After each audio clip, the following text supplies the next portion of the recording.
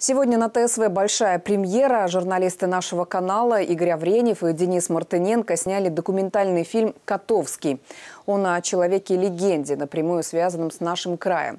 Так о Григории Котовском еще никто не снимал. Новые факты и современные технологии в кино о событиях вековой давности сразу после выпуска новостей.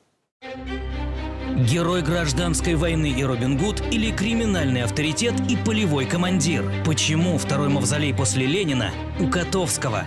Как бессарабский Робин Гуд любил Бузову сто лет назад и как продавал свои кандалы на аукционе. Откуда взялись 16 бронепоездов в парканах? Что делали китайцы, алжирцы, французы, румыны и немцы в Бендерах и Тирасполе? И почему Котовского можно назвать успешным бизнесменом?